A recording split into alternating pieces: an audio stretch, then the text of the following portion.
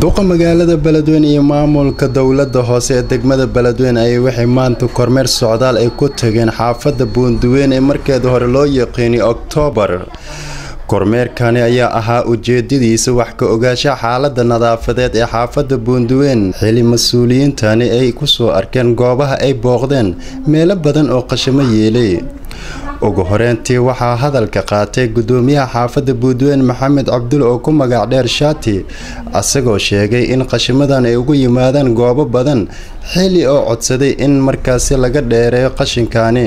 Maanta marka waxaan uga faaidaysanaynaa duqa magaalada noo yimid iyo wafdi oo hogaaminayo waxaan arka dhex joognana way u jeedaan. Sidaas awgeed waxaan rabnaa in qashinkaa lala ka qaado haddii awood ay jirto muxuu ahaa qashinka naga qaadi kartaa. Annaguna ceelno uma qudnaa cidlo uma maqneen inaan xaafadaan isku tashanno oon qashinkan qaybtaana ka qaadanno waa rabnaa qashinkan wuxuu ka yimid suuqa qudaarta. Qaybaha mooska iyo liinta iyo farbishaasha magaalada inta waa ka yimaadaa qolada farbishaasha iyo beledka qashinka laga keeno waa kula dirirnay. God yaroo halkaas aan uga samaynaya jira.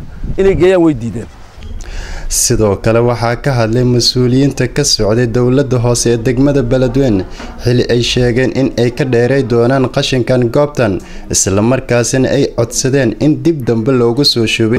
Waan imaanay waa ku soo wareegnay. Qashin badan baa yaallo.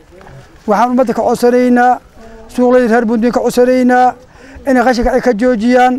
Hadda kadib hadduu alla yidhaha qashinkan waa la qaadaa geed geed gaabana loo fuusha doona hadduu alla yidhaha waxaan ka rabnaa reer buunduun waa la maqlayn gudoomiyihii gobol buunduun waa la maqlaa inay qashinka laga joojiyo meeshaan halahaan waa la tacaalayna waana qaadi doona hadduu alla yidhaha meesha idila astayaad ma kushubi doonta hadduu alla yidhaha alla ogolaado oo gudoomiyaha noo calamay doonaa waxaan idin sheegaa gudoomiyihii buunduun waa ujeediin maayarkii magaalada waa ujeediin waxaa hadalka qaatay maayarka degmada beledweyne cali cabdulqaadir faarax cali sandheere oo bulshada ka codsaday in ay canshuuraadka dhiibaan islamarkaasina ay ka shaqay doonaan goobo badan oo qashamada lagu shubo.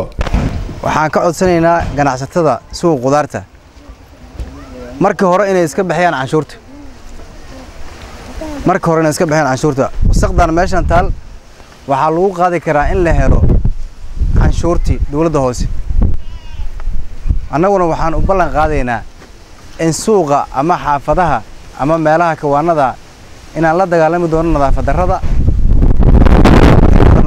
nadaafadarra aad iyo aad u baaxad weyn. Xaafadan oo keliya ma ahan buundaweyn oo keliya ma ahan. Meelo kale oo badan oon tagnin waan soo aragnay. Magaalada sida biyobaxada uga baxday haba yaraatee ma aysan helin wax daryeel ah ma aysan helin wax canshuura oo la qaadaya ma aysan jirin. Annagoo xafiiska aan tagnay haddana ma ahayn mid shaqeeyo wuxuu ahaa xafiis ziira ah oo aan wax canshuura aan laga qaadin bulshada laakiin bulshada waxaan ka codsanay reer beledweyne inay iska bixiyaan canshuurta lagu leeyahay wayna bixi doonaan insha allah hadduu lahiri annaguna.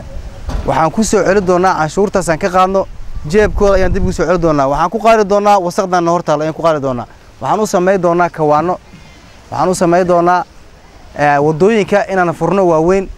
Waxaan samayn doonaa cabdinaasir jaag cali raadiyaha iyo t v-ga dowlad goboleedka koonfur galbeed soomaaliya. Beledweyne